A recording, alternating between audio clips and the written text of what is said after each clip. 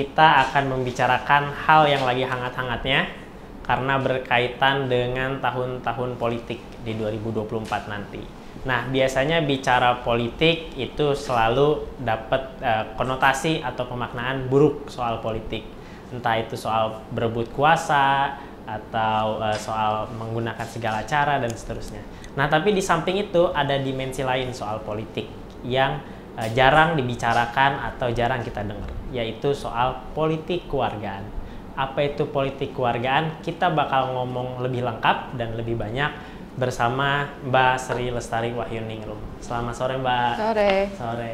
Jadi Mbak Sri akrab dipanggil Mbak Lewe. Hmm. Oke. Okay. Nah, jadi kita udah bertandang ke markasnya Mbak Lewe di UPNFJ Uh, kita bakal ngobrol-ngobrol soal politik keluargaan. Hmm. Kalau secara definisi sendiri atau secara dasar sih orang kan jarang kayaknya dengar politik keluarga keluargaan gitu. Orang taunya uh, politik elektoral atau politik tuh kotor gitu. Nah, sebenarnya apa sih politik keluargaan ini? Ini sesuatu yang orang udah pikirkan. Ini kan soal sudut pandang melihat politik. Politik yang biasanya orang uh, tahu itu adalah politik yang kekuasaan merebut kekuasaan yeah. gitu ya politik yang koruptif gitu, politik yang uh, kesewenang-wenangan gitu atau um, kalau yang paling terkenal kan Harold Laswell ya, uh, who gets what, when and how ya, siapa yang mendapatkan apa, uh, bagaimana, uh, apa, kapan dan bagaimana hmm. gitu ya. Uh, itu kan kesannya politik yang sangat um, absolut gitu ya okay. politik yang nggak jauh-jauh dari soal kekuasaan dan distribusi kekuasaan gitu. Tapi mungkin kita harus melihat wajah lain politik dan saya lebih percaya dengan wajah yang lain bahwa politik itu adalah sebuah uh, upaya transformasi. Okay. Karena politik itu adalah upaya mengubah sesuatu yang mudarat katakanlah ya hmm. mudarat menjadi sesuatu yang lebih manfaat, yang lebih baik. Lebih baiknya dari mana? Lebih baiknya uh, karena politik itu dia harus selama dia memiliki prinsip-prinsip yang jelas maka dia harus mampu mengubah kondisi masyarakat yang tadinya tidak baik represif hmm. menjadi equal uh, empowering ya atau memberdayakan dan uh, membebaskan saya pikir kata kuncinya di situ makanya kita perlu politik okay. jadi bukan hanya politik sekedar uh, bagaimana mendapatkan kekuasaan atau siapa yang mendapatkan kekuasaan tapi bagaimana politik bisa mentransformasi masyarakat dalam keseharian kan kita kayak ngelihat uh, politik atau warga itu uh, diadakannya hanya lima tahunan sekali gitu. Hmm. Sementara kan ada politik kesehariannya gitu. Hmm. Nah sebenarnya politik keseharian kewargaan ini gimana sih mbak? Terusannya adalah titik fokus atau um, kacamata yang digunakan dalam politik yang transforming ini yang me membebaskan me mentransformasi ini adalah partisipasi jadi uh, partisipasinya adalah partisipasi yang luas dan bermakna, bukan partisipasi lima tahunan datang yeah. ke TPS dan kasih suara, tapi partisipasi bahkan sebelum dan sesudah uh, yang lima tahunan itu. Dan harus bermakna, bukan hanya sekedar partisipasi biasa, tapi dia harus punya sesuatu yang diartikulasikan, yang direfleksikan dari situasi yang ingin diubah di masyarakat. Okay. Partisipasinya siapa? Partisipasinya orang yang ingin diubah, yaitu rakyatnya sendiri. Karena uh, saya pikir politik politik itu harus dikembalikan ke awalnya ketika ada ide politik itu sendiri. Politik itu dari zaman Yunani uh, negara bangsa, eh negara negara kota ya, hmm. uh, yang uh, isinya ya warga itu sendiri sih orang-orang yang ada di dalam situ. Artinya ini bukan tentang satu dua orang, tapi tentang sebuah politik yang berinteraksi satu sama lain uh, dan itu yang menjadi cikal bakal atau landasan awal kenapa kemudian orang berpikir tentang ada satu konsep yang namanya politik secara luas. Okay. Jadi kalau mau dibilang um, politi, politik atau yang dulunya politi is about the citizen, about the member, orang-orang yang ada di dalam komunitas itu, bukan tentang uh, apa yang dihasilkan dari kom komunitas itu dari hmm. dari komunitas itu yang dihasilkan bisa jadi yang paling mudah yang dihasilkan itu adalah negara konsep negara kan juga baru sebetulnya uh, tapi negara itu adalah konsekuensi dari adanya uh, warga okay. jadi ada warganya dulu baru ada negara. Bukan terbalik, negara dulu baru warga. Negara adalah sebuah konsensus. Hmm. Yang memimpin negara atau yang mengelola negara adalah mereka yang secara konsensus dipilih awalnya, tapi kemudian melalui mekanisme pemilihan secara berkala dan sebagainya. Artinya yang disyaratkan supaya ada konsensus supaya ada pemilihan dan memilih negara itu aparat negara adalah si warganya. Kalau nggak ada warga nggak mungkin ada yang lain gitu. Eh, negara ataupun eh, pimpinannya. Ketika warga mau berpartisipasi secara bermakna itu Hmm. terlebih dahulu ada pengakuan terhadap warganya itu sendiri.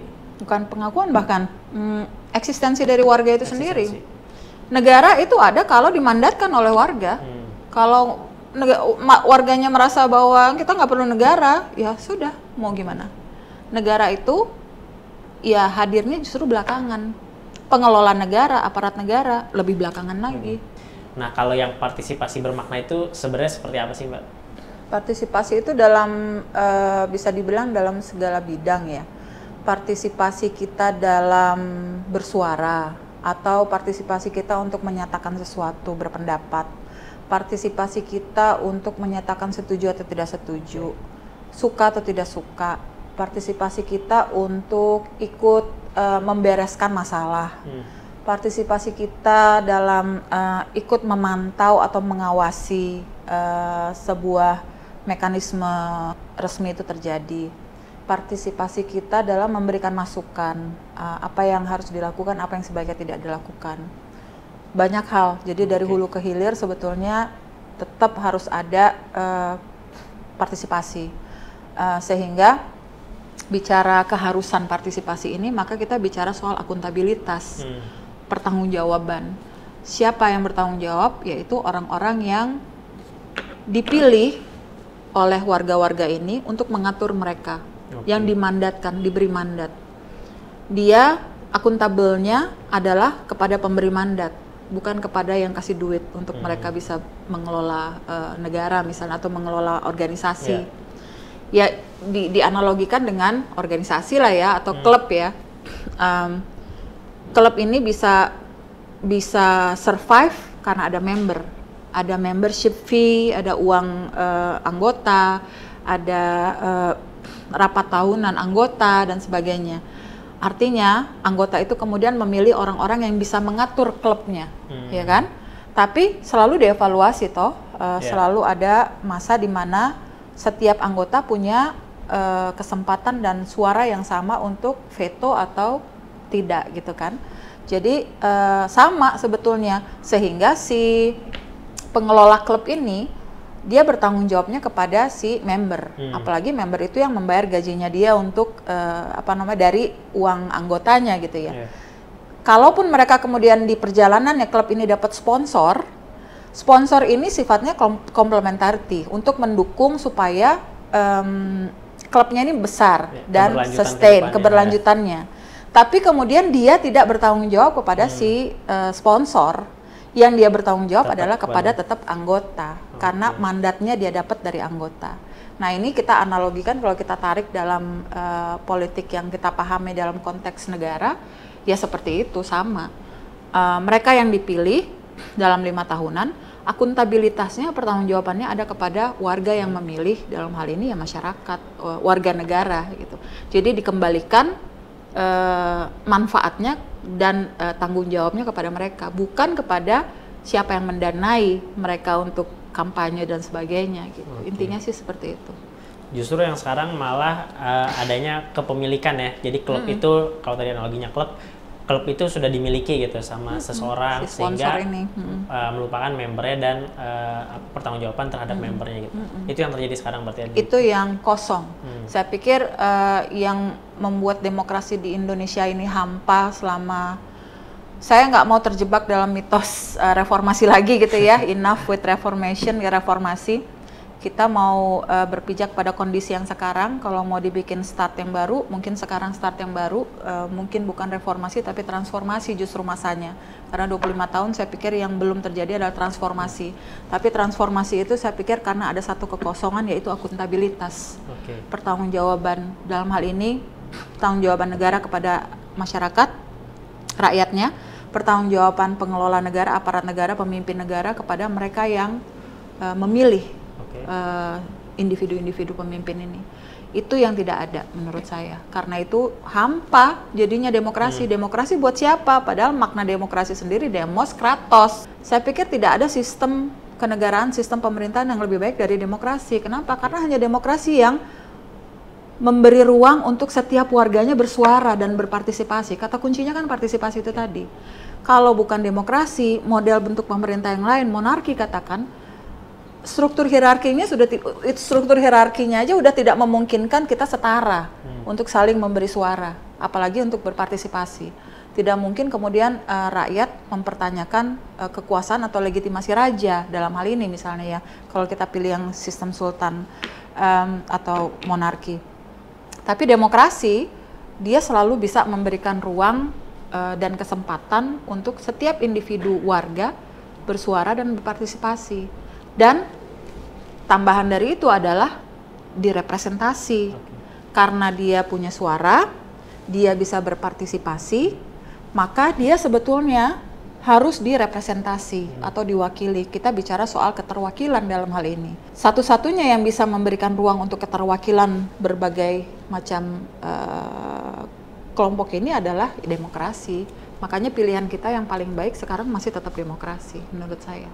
Nah, kalau lihat sendiri sebenarnya kenapa sih Mbak di dalam pemilu kita atau dalam politik kita gitu uh, ketiadaan narasi politik kewargaan itu gitu. Kita kan lihat perdebatan di ruang publiknya nggak ada yang bicara soal uh, bagaimana apa agenda soal pengakuan kelompok minoritas misalnya gitu atau soal uh, apa kelompok marginal dan seterusnya gitu. Yang ada kan apa elektabilitas bongkar pasang ini koalisi sama ini gitu nggak ada narasi hampa tadi gitu itu kenapa kira-kira mbak? Ya saya sih mikir piciknya adalah ya. uh, memang ada kelompok-kelompok yang tidak mau terjadi transformasi di masyarakat. Okay. Um, karena itu ruang-ruang partisipasinya sebisa mungkin dibatasi atau dikecilkan, dikucilkan.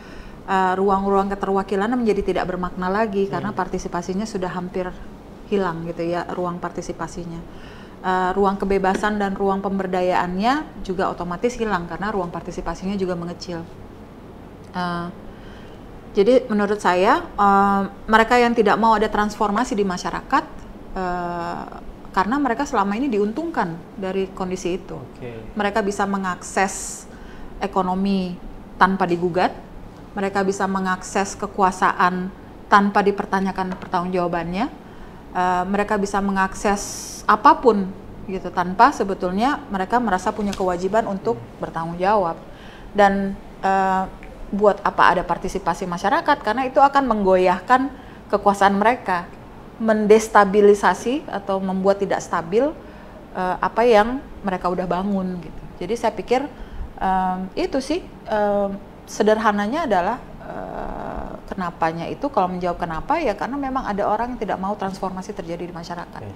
Saya mau kasih contoh misalnya Korea. Kalau kita balik lagi ke 9798, itu periode yang sama krisis ekonomi terjadi di banyak tempat.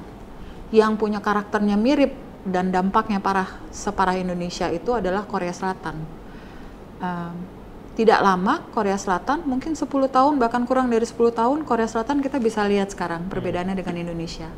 Kenapa kira-kira? Jadi itu banyak ditanyakan, tapi ada satu argumen yang sangat convincing menurut saya kemarin waktu saya di Harvard kita sempat diskusi. Ada satu um, penjelasan yang kurang lebih bisa menjelaskan kenapa Korea Selatan bisa lebih cepat bangun dibanding dengan eh, negara-negara uh, lain terutama Indonesia. Karena anggarannya dipakai untuk pendidikan yang mentransformasi di masyarakat. Jadi salah satu ruang yang paling memungkinkan untuk melakukan transformasi adalah pendidikan, hmm. sektor pendidikan. Sekarang kita lihat ada berapa sih budget pendidikan di Indonesia untuk membuat uh, mencerdaskan uh, masyarakat kecil dibanding dengan negara-negara Asia Tenggara saja. Indonesia mungkin yang terkecil kedua setelah saya lupa um, Laos kah atau uh, saya lupa tapi dibanding dengan katakanlah Thailand saja, kita jauh. Filipina apalagi, Singapura ya buru-buru gitu ya. Nah, uh, Korea Selatan itu yang mencolok adalah mereka habis-habisan all out investasi di sektor pendidikan. Dan itu yang membuat percepatan terhadap transformasi di masyarakat. Yang tadinya jatuh anjlok tapi kemudian mereka teredukasi, mereka tercerahkan itu membuka uh, katup-katup inovasi, katup-katup um, teknologi, inovasi terhadap teknologi. Itu yang terjadi di Korea sekarang. Semua penciptaan-penciptaan inovasi baru itu munculnya dari uh, mereka yang punya kesempatan untuk pendidikan yang baik, penelitian yang baik. Itu juga kenapa saya berharap tadinya dengan saya lebih uh, kembali ke kampus, uh, lebih banyak uh, aktivitas di kampus, saya berharap sektor pendidikan ini justru yang bisa mentransformasi. Dan sebetulnya dia punya potensi yang paling besar untuk transformasi. Karena transformasinya bukan di uh, bukan di ekonomi saja tapi transformasinya di ide mentransformasi ide itu jauh lebih sulit daripada mentransformasi ekonomi. Transformasi ekonomi kita bisa coba upayakan uh, katakanlah uh, meskipun nantinya akan sampai pada jebakan ya hutang apa segala macam ya itu kan tidak mentransformasi sebetulnya tapi justru menjebak. Tapi ide itu paling sulit ditransformasi karena uh, kecenderungan kita itu selalu nyaman dengan sesuatu yang kita pikir sudah menjadi apa ya uh, kebenaran. Hmm jadi biasanya orang yang sudah nyaman dengan kebenaran itu akan sangat sulit dikritik, akan sangat sulit melihat satu kebenaran lainnya, uh, akan sangat sulit difalsifikasi, dicari kesalahan dari kebenaran yang dia percaya. Itu yang paling sulit, makanya transformasi itu yang paling sulit adalah di tataran ide dan itu uh, peluang yang besarnya justru lewat sektor pendidikan itu, edukasi.